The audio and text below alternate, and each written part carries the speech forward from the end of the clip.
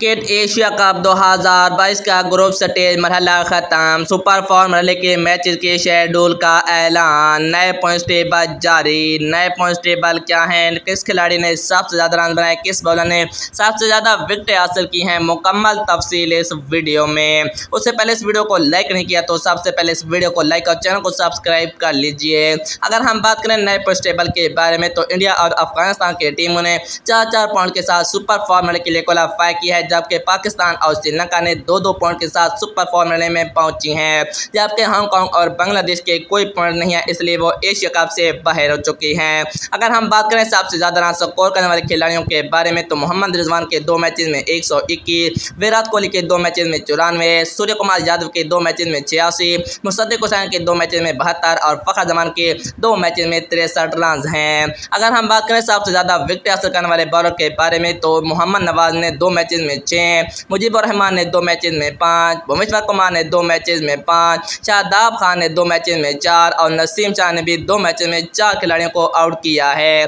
अगर हम बात करें सुपर फॉर्म के मैच के शेड्यूल के बारे में तो तीन सितंबर को अफ़गानिस्तान, श्रीलंका चार सितंबर को इंडिया, पाकिस्तान छः सितंबर को अफ़गानिस्तान, इंडिया, सात सितंबर को पाकिस्तान, श्रीलंका, आठ सितंबर को इंडिया, श्रीलंका, नौ सितंबर को अफ़गानिस्तान, पाकिस्तान और अलेवन सितंबर को एशिया कप का फाइनल मैच खेला जाएगा।